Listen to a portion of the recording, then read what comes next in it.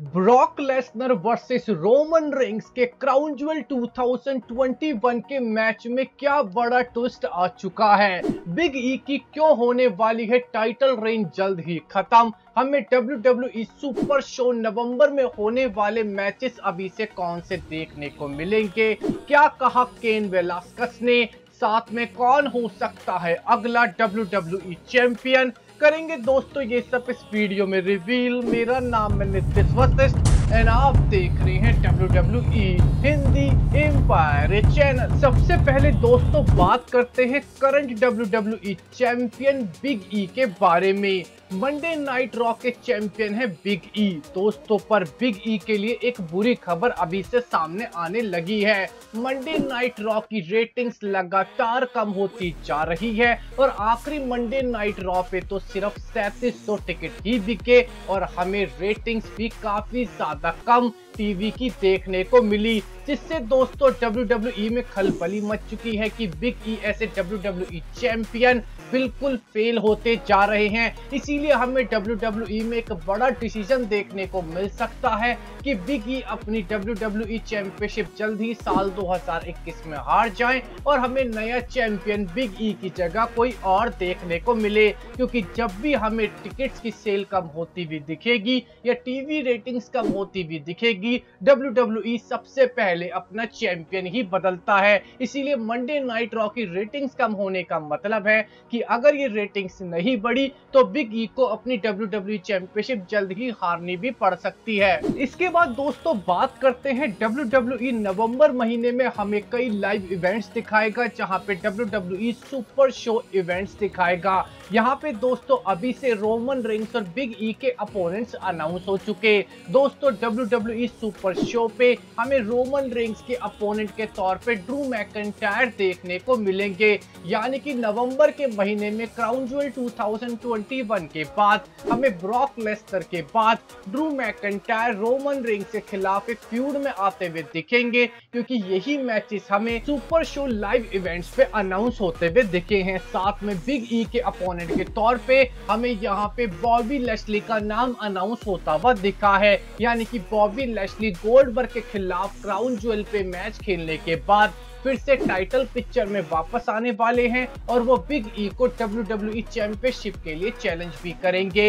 यानी कि Roman Reigns का अपोनेंट है ड्रू मैकंटायर और बिग ई के अपोनेंट होंगे बॉबी लशली इसके बाद दोस्तों बात करते हैं डब्ल्यू के फॉर्मर सुपरस्टार केन वेलास्कस के बारे में। केन वेलास्कस ने साल 2019-20 में धमाका मचा दिया था, जब उन्होंने ब्रॉक लेसनर के खिलाफ WWE चैंपियनशिप मैच खेलने के लिए अपनी रिटर्न करी थी। पर बजट कट्स के चलते केन वेलास्कस को WWE ने साल 2020 में रिलीज़ कर दिया था। दोस्तों, केन वेलास्कस पे एक बड़ी अपडेट आई कि केन वेलास्कर फिर से अपनी प्रोफेशनल रेसलिंग में रिटर्न करने वाले हैं और ये रिटर्न WWE में नहीं होगी। दोस्तों, हमें यहाँ पे केन वेलास्कस की रिटर्न ट्रिपल ए में देखने को मिलेगी, जहाँ पे वो मास्क पहन के रेसलिंग करेंगे।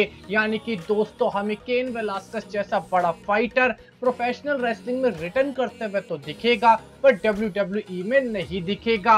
इसके अलावा दोस्तों, हमारे पास एक बड़ी अपडेट आई है रिच हॉलैंड के ऊपर, जो पहले NXT के सुपरस्टार थे, पर साल 2021 के ड्राफ्ट में हमें रिच हॉलैंड NXT से फ्राइडे नाइट स्मैकडाउन में ड्राफ्ट होते हुए दिखे। रिच हॉलैंड को दोस्तों WWE की मैनेजमेंट खासी पसंद कर रही है और उन्हें फ्राइडे नाइट स्मैकडाउन में ड्राफ्ट करने का मतलब है कि WWE की मैनेजमेंट और विंस मैकमैन का रिच हॉलैंड को देख के ये मानना है कि ये फ्यूचर सुपरस्टार है और ये चैंपियन मटेरियल है। दोस्तों WWE जल्द ही हमें रिच हॉलैंड को कोई ना कोई चैंपियनशिप देती हुई दिखेगी। डेव मेल्टर के अकॉर्डिंग साल 2022 में हमें रिच हॉलैंड पहली बार WWE में चैंपियन बनते हुए दिख सकते हैं। वो यूनाइटेड स्टेट्स चैंपियनशिप या इंटर चैंपियनशिप हमें साल 2022 में जीतते हुए दिखेंगे। इसके बाद बाद दोस्तों, बात करते हैं बैकी लिंच के बारे में, जिन्होंने अपना reaction W W crown jewel 2021 पे होने वाले ट्रिपल थ्रेट मैच में दे दिया। क्राउन ज्वेल पे होने वाले ट्रिपल थ्रेट मैच के बारे में बैकी लिंच ने कहा कि वो अपनी स्मैकडाउन की वुमेन्स चैंपियनशिप को बियांका बेल एयर और शाशा बैंक के खिलाफ डिफेंड भी करेंगी और जीतेंगी भी। इस पे कोई डाउट नहीं है। पर दोस्तों बैकी लिंच ने कहा कि शाशा बैंक्स बियांका बेल और बैकी लिंच इस इंडस्ट्री की सबसे तीन बड़ी सुपरस्टार है, चाहे वो फीमेल और मेल सुपरस्टार्स क्यों ना हो। इसीलिए क्राउन ज्वेल 2021 पे सबसे बेहतरीन मैच हमें बैकी लिंच शाशा बैंक्स और बियंका बेलियर के बीच में देखने को मिलेगा। यानी कि दोस्तों, साफ़ है बैकी ने कहा है कि वो अपने इस चैंपियनशिप मैच में शाशा बैंक्स और बियंका बेलियर को हरा के ही रहेंगी। इसके बाद दोस्तों, बात करते हैं कि नवंबर महीने में सर्वाइवर सीरीज़ के बाद हमें एक बड़ा चेंज होता हुआ नज़र आएगा। डब्ल्यू डब्ल्यूई ने ऑफिशियली अनाउंस कर दिया है कि 29 नवंबर 2021 के मंडे नाइट रॉक के एपिसोड पे हमें रोमन रेंग्स लाइव ऑडियंस के सामने परफॉर्म करते हुए दिखेंगे। ये दोस्तों डब्ल्यू ने इसलिए करा है क्योंकि सिर्फ़ 9 दिन बाद ही ऑल इलीट रेसलिंग का डायनामाइट शो भी इसी एरिना में होना है। और डायनामाइट शो के टिकट्स तो लगातार बिक रहे हैं, पर मंडे नाइट रॉ के टिकट्स नहीं बिक रहे थे। इसीलिए डब्ल्यू ने मंडे नाइट रॉ के लिए रोमन रिंग्स को अनाउंस करा है ताकि ट्राइबल चीफ की वजह से मंडे नाइट रॉ के टिकट्स कुछ बिक सके। अब बात करते हैं दोस्तों Roman Reigns versus Brock Lesnar के। क्राउन ज्वेल 2021 के सबसे बड़े ट्विस्ट के बारे में सबको यही लगता है कि बीस्ट इनकारनेट ब्रॉक लेसनर अपनी रिटर्न के बाद अगले यूनिवर्सल चैंपियन बन जाएँगे। पॉल हेमन ब्रॉक लेसनर का साथ देंगे और रोमन रिंग्स को धोखा देंगे। दोस्तों रीसेंट अपडेट्स के अकॉर्डिंग सबसे पहले रिंग साइड न्यूज़ ने रिपोर्ट करा है कि नए रिपोर्ट्स के अकॉर्डिंग हमें रोमन रिंग साल 2021 में यूनिवर्सल चैंपियनशिप हारते हुए नहीं दिखेंगे। यानी कि साफ़ है दोस्तों की क्राउन ज्वेल तो छोड़िए। रिंग साइड न्यूज़ के अकॉर्डिंग पूरे साल 2021 में हमें रोमन रिंग्स ही ऐसे यूनिवर्सल चैंपियन देखने को मिलेंगे। यानी कि दोस्तों ब्रॉक लेसनर को रोमन रिंग से हारना पड़ेगा। साथ में दोस्तों, बड़ी अपडेट भी ये आई कि क्राउन ज्वेल 2021 के बाद ब्रॉक लेसनर स्मैकडाउन की जगह हमें मंडे नाइट रॉ के सुपरस्टार के तौर पे देखने को मिलेंगे।